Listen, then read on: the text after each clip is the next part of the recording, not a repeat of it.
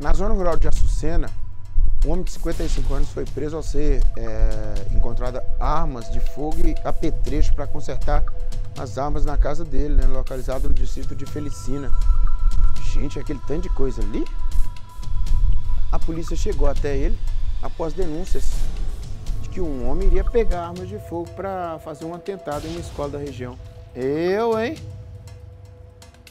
Cruz, credo, nós estamos falando de Açucena, gente. O distrito de Açucena que Felicina? Que que é isso, Ivan? Tô vendo a foto ali, que tanto de coisa, rapaz.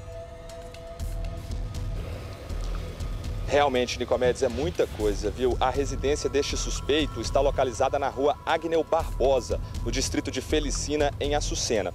Nico, este homem de 55 anos assumiu para a polícia militar que ele realmente tem várias armas sob posse dele. Principalmente disse que muitas delas estão é, na oficina que ele tem e que elas serão consertadas futuramente. futuramente. No entanto, disse que nunca atendeu este homem acusado de comprar as armas para promover uma chacina na região da cidade de Açucena. Só que os policiais fizeram outras perguntas e ele acabou confessando que os dois conversam esporadicamente e que ele vai até a casa deste homem que tem as armas, porém que eles não fazem negócio. Nico, a polícia conseguiu apreender lá nesta oficina 10 espingardas de calibres diversos, dois revólveres, um garruchão de fabricação artesanal, coronhas, mecanismos, 34 canos, munições de calibres para espingardas e revólveres, além de material usado para recarregar todo esse armamento. Nicomedes, o suspeito que estava com essas armas de fogo em casa, armazenadas na oficina,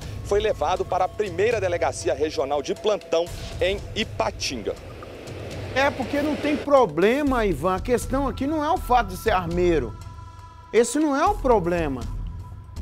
Problema é se a pessoa não tiver autorização da Polícia Federal, do Exército Brasileiro, para trabalhar nesse tipo de ramo. É disso que nós estamos falando.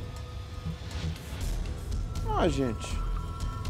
Ah, é difícil. Obrigado, viu, Ivan, por sua informação.